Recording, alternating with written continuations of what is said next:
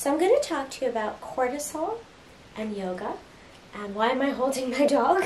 well, cortisol is our major stress hormone, and she is like my stress relief.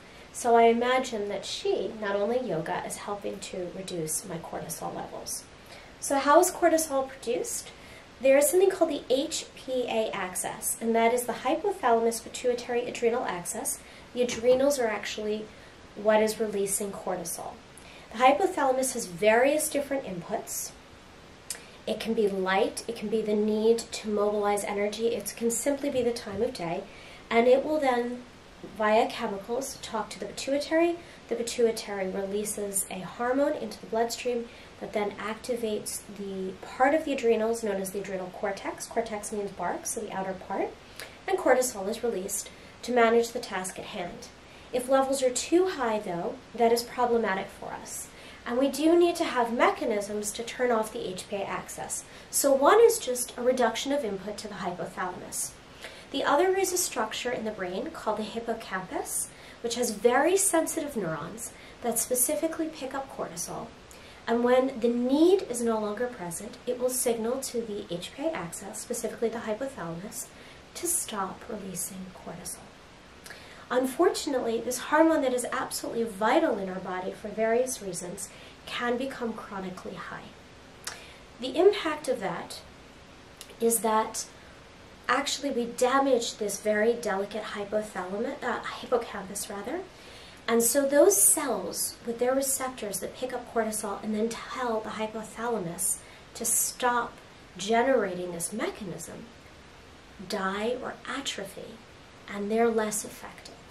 So we find in a lot of different health conditions, most of them having to do with high-level anxiety stress, that we find elevated levels of cortisol. So how can yoga help?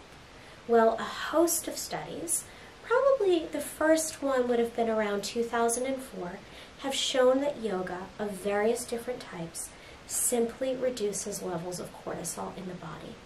And that means we're normalizing it. And just to be clear, cortisol for most human beings is higher in the morning and lower in the evening and has a trajectory. So it's not like we just always want cortisol low, but what yoga seems to do is it normalizes the trajectory. There's also another component here.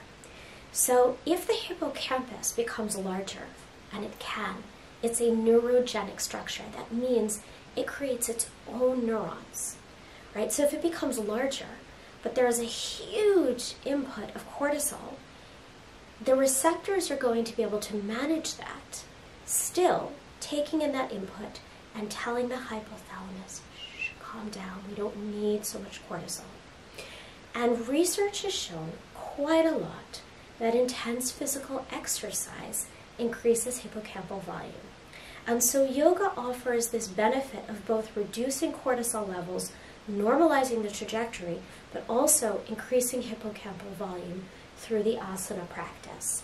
It should be noted that other things that also have shown to increase hippocampal volume are mindfulness, a component of yoga, and a gentle yoga practice, which was undertaken in India in a six-month study, also showed increased levels of hippocampal volume.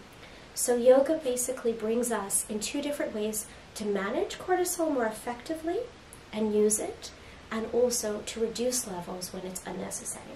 And if you don't have that, I hope you have a little monkey if you're not able to practice like this, because research also shows that healthy relationships help to reduce stress, and that will have an impact on the HPA axis as well.